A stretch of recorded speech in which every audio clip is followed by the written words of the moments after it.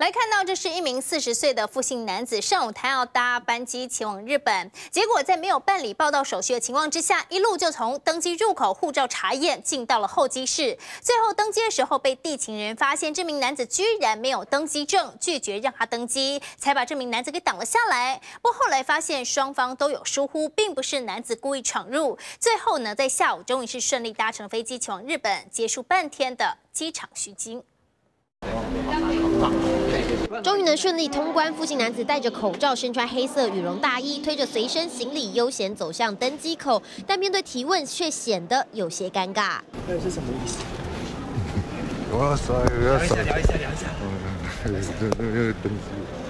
其实这名年约四十岁的复姓男子原本预定早上就要飞往日本羽田，但男子以为在以往只飞国内线的松山机场搭机就不用比照国际航线提早两小时 check in，因此原定七点半的班机，复姓男子只提前十分钟才到。由于航空公司已经关柜，男子就这样直闯登机入口，一直到被地勤人员发现怎么会没有登机证，因此拒绝让他登机，也不愿意帮他补办手续，双方还因此发生口角。但航警局进一步了解，父姓男子直闯登机门，双方都有疏忽。因为负责把关的航警疑似因为是新进人员，不熟悉作业流程，虽然有查验护照，还有电子机票等证件，但误把定位记录当成登机证，草率放行。再加上父姓男子采用自动通关，刚好躲过移民官的查证，才会直通登机门，被地勤人员拦下。也就是说，父姓男子是合法闯关，并没有硬性闯入，因此没有进一步追究。而航空公司也帮他把航班改到下午，顺利前往日本。